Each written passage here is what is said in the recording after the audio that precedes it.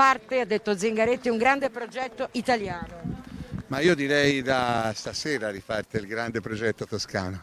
Eh, sono molto contento, oggi è stata la prima giornata eh, in cui ho potuto vivere le cose con eh, lucidità e serenità perché indubbiamente fino a ieri mi sentivo avvolto da questo entusiasmo che vi è stato subito dopo i risultati, per me è una sensazione unica nella vita, con Dario ci siamo sentiti costantemente, ci siamo parlati, è, è davvero una grande prospettiva per eh, l'orizzonte che ha la Toscana davanti.